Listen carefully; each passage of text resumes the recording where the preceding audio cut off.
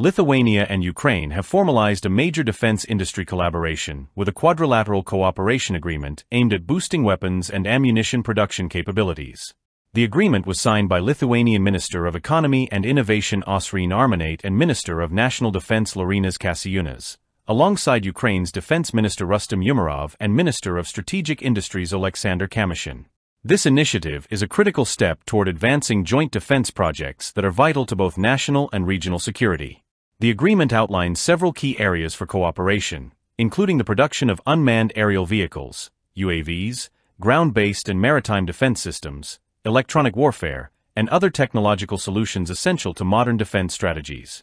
Both countries will also work together to enhance their production of crucial ammunition and components like explosives and shells, strengthening defense supply chains across the region.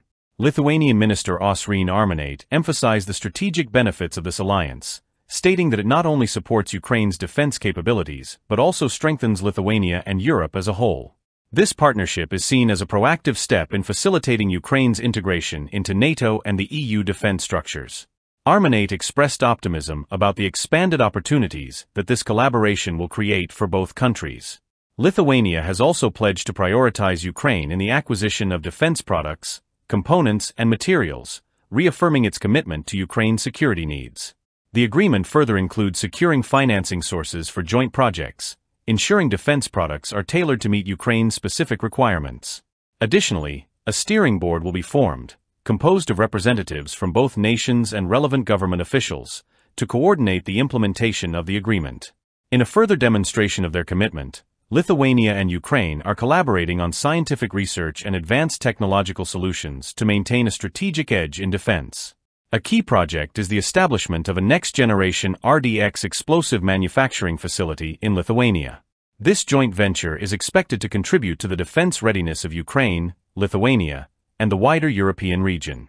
Legal amendments introduced by Lithuania this year will help accelerate the construction of this facility, with work potentially starting next year. Through this strategic partnership, Lithuania and Ukraine are not only enhancing their defense capabilities, but also strengthening the security framework of Europe.